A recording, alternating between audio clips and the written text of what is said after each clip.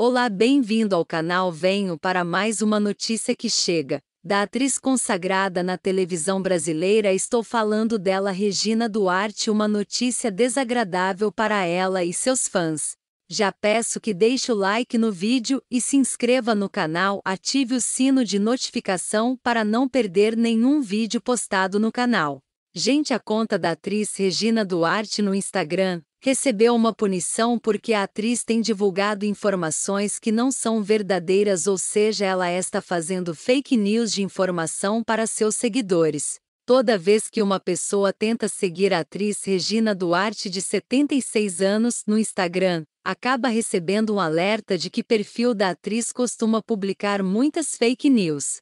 O comunicado diz que tem certeza que deseja seguir Regina Duarte, essa conta publicou repetidamente informações falsas que foram analisadas por verificadores de fatos independentes ou que eram contra nossas diretrizes da comunidade. É o que diz o alerta para novos usuários.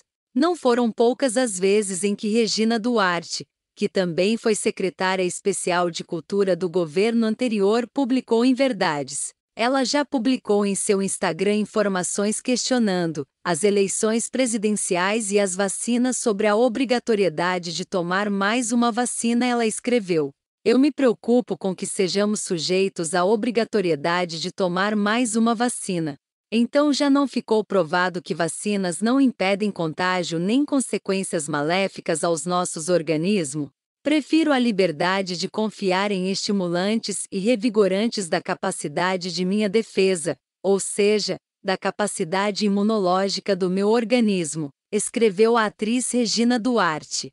Mas diz para nós o que vocês acham de tudo isso, ela mereceu ser punida pelo Instagram? Deixe sua opinião nos comentários. Peço que se inscreva no canal e deixe o like. Te vejo no próximo vídeo. Que Deus abençoe a todos.